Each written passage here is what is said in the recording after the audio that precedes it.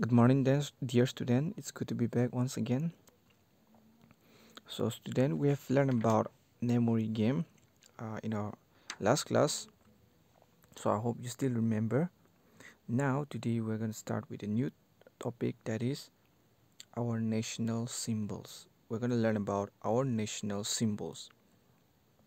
So, our aim for today is students will be able to identify the national symbol of India resources required is your resource sheet which I'll be giving you your S4 S4 your exit content book and your notebook as well. Keywords for today is national symbol emblem and anthem. So as usual let's learn the meaning of the keywords. So this is the meaning of the term all right so a national symbol first of all national symbol okay a national symbol is a symbol of any entity considering and manifesting itself to the world as a national community. That is known as national symbol all right an emblem. A representative symbol such as a trademark or logo. That is known as emblem. An anthem. A hymn of praise or loyalty. That is known as anthem Alright, now I hope you are clear with the meaning of the term. Alright, first question. Okay, so this is our school logo. Okay, alright, so this is our school and symbol. Alright, the symbol of our Mount Hermon Higher Secondary School. So, what does the picture mean, or why do we have it in our school diary, badge, or bags? Alright, in your school diary calendar you'll have in your school page even in your school bag as well as well okay? We have the school logo. So what does the picture mean? All right students so see listen. The picture on our school uh, diary or school calendar our school badge and our school bags describe more about our school. All right it's describe more about us something more about our school okay? It is a symbol for our school. We recognize our country with the help of this symbol called national symbol okay? So the symbol that we have in our school is mainly to recognize our school all right from other school okay? To differentiate our school from other school. Similarly we recognize our country with the help of symbol okay called as national symbol all right so today we will learn about the different symbol of our country all right we're going to learn about the different symbol of our country. So for that i want you guys to observe the given picture here okay? So as you can see the picture that i given here i want you guys to observe properly all right so as you can see different picture with tiger. Uh, you see with panda lotus all right banyan tree all right peacock mango uh, indian flag. All those okay they are pictures. So i want you guys to observe properly okay?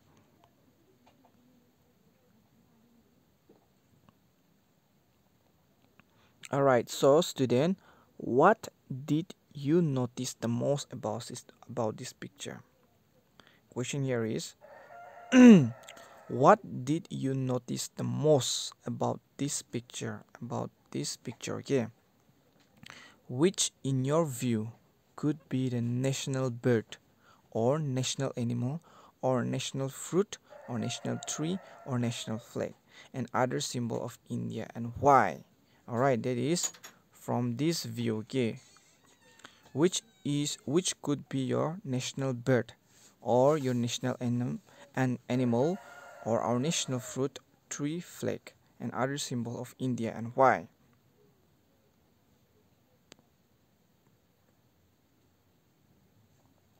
All right. So listen here. Another question is which are the national symbol of India? Can you think of a reason why they are our national symbol. All right.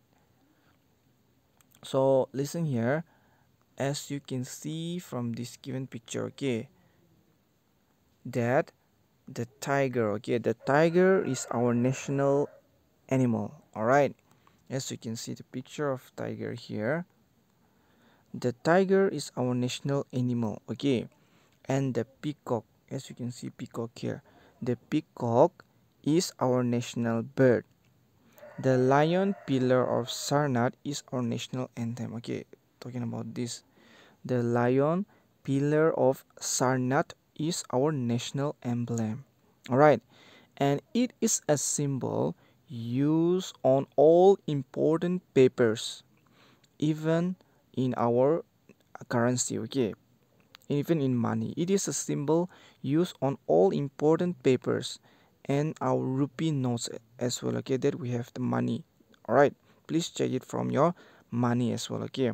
So in rupee notes as well as coins of our country like one rupee coins or two rupee coins okay? Or five rupee coins you will see the sarnath pillar which is our national emblem. Similarly we sing our national anthem at all important functions to show respect to our country all right not only that we also sing our national anthem okay jana gana mana right i hope you know the song and also we fly our flags on important days like the Independence Day on 15 August. Alright, our national symbols are chosen from these that are special to India. Alright, so these are all our national symbol. Okay, we recognize our country with this symbol. Okay, so we recognize our country with the given symbol that I've shown you. Alright, with this symbol we recognize our country India all right okay so the last question here is question number three okay is there anything specific about your state dance historical building anything else that could be a symbol for your state.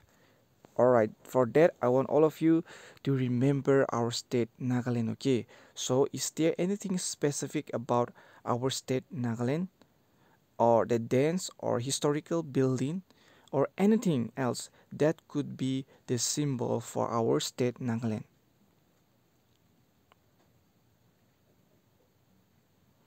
Alright student, it has got many okay. So see, uh, you see a dance from from or a tourist place from their state okay. For example, someone living in Maharashtra could say Ajanta and Ellora cave. For Assam, someone could say Bihu dance, right? And even for Nagaland, we have a traditional dance, okay? And we, we also celebrate uh, Hornbill Festival, and during the time, you'll see lots of traditional dance as well, all right?